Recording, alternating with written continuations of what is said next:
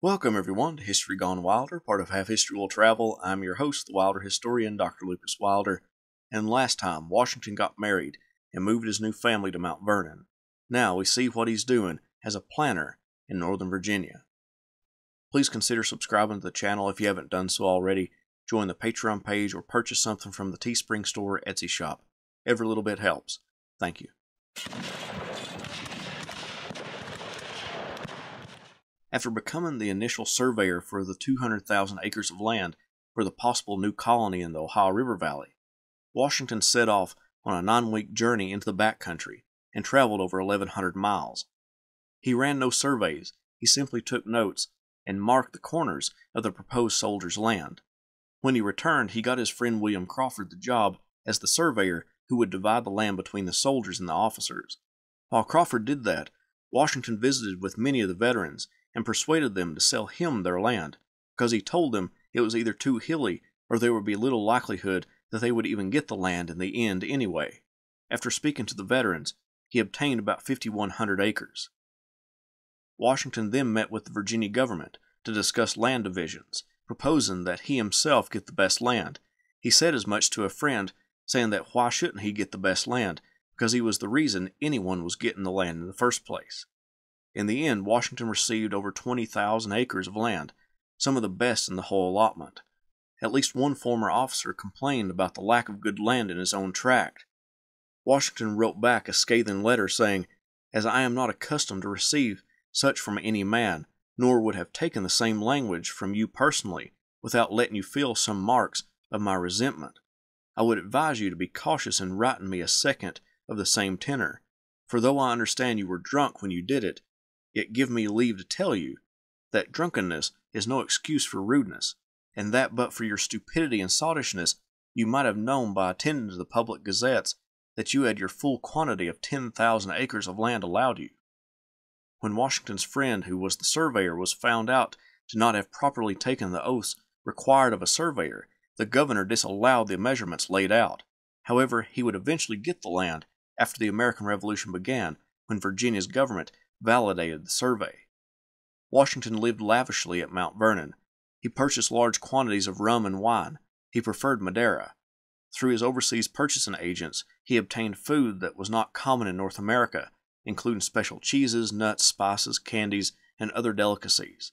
Within 10 years, he purchased about 24 pairs of expensive shoes. His wardrobe was immense, but nothing like Martha's.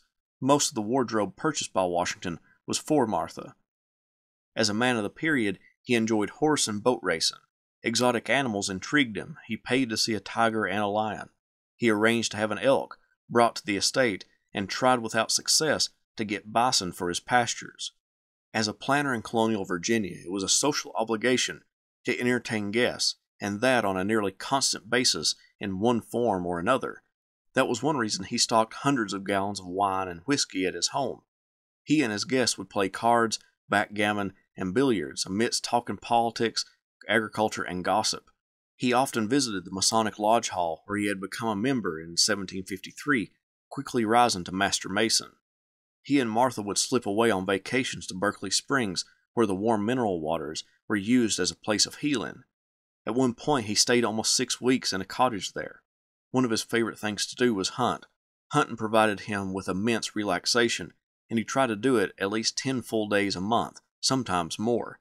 He used his hounds to hunt pheasant, duck, deer, and foxes. He also loved to raise dogs, breeding his best stock to obtain some of the best hunters. Horrifically, he would kill the pups if they weren't of proper pedigree. He wasn't a fan of leisure reading. Most of his books were either of an agricultural nature or military manuals or biographies. He didn't collect art pieces. His furniture was for functionality rather than style. He didn't like attending church only doing so about once a month. When he did go, he didn't partake in the Eucharist. As one of his biographers stated, he was not a deist, however. He believed in God's intervention in worldly affairs, and he anticipated a life after death. He didn't like visiting his mother either. Apparently, she was too domineering. In 1771, he and his brothers convinced her that she would be more comfortable elsewhere than at Ferry Farm. She negotiated a deal with George that she would live in one of his houses in Fredericksburg, and he would provide her with the necessities of life while also paying her an annual rent for Ferry Farm. When Mary Washington moved to Fredericksburg, Washington sold Ferry Farm for £2,000. Two of the most frequent visitors to Mount Vernon were George William Fairfax and his wife Sally Fairfax. Washington and Martha would regularly stay the night at Belvoir, and likewise George William and Sally would spend the night at Mount Vernon. The two men hunted together, and Martha grew close to Sally through their frequent visits, so much so that they would become friends. In the early 1770s, Sally would fall ill, and her and George William would sail to England for her medical treatment. They would never return to Virginia. By the time they thought they could return, the Revolutionary War was underway, and George William would side with the Crown. Many years later, after George William's death, Washington would write to Sally for the last time, telling her that he often looked at Belvoir and thought of her, and that his happiest moments in his life were in her company. It's most likely that he still had affection for and loved Sally, no matter how long he had been married to Martha. His marriage to Martha had been one of convenience, but he grew to love her. He would say later that love was too fragile of a foundation on which to build a marriage. Better it be built upon good sense and good dispositions. Washington treated Martha's children from her first marriage as if they were his own.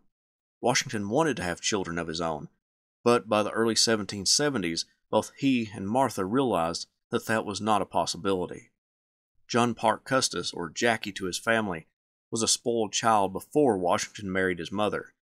The boy's actions exasperated his stepfather, but Washington spared no expense raising the child. He got him the best tutors, and by the age of 15 he sent him to study with the Anglican clergyman Jonathan Boucher in Maryland. Because he stood to inherit a great wealth when he came of age, Jackie didn't care for studying. Boucher stated that Jackie was the most indolent and hedonistic person he had ever known, and that his actions reflected more of an Asiatic prince than a scholar. When he turned 18, Jackie would be sent to King's College in New York, but before he left, he informed George and Martha that he was getting married.